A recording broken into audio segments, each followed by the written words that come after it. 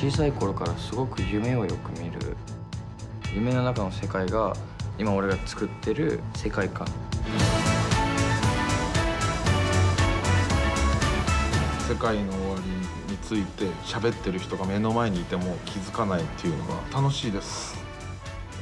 いまだに自分がやったどんな演出よりも深瀬聡が歌ってる声に感動する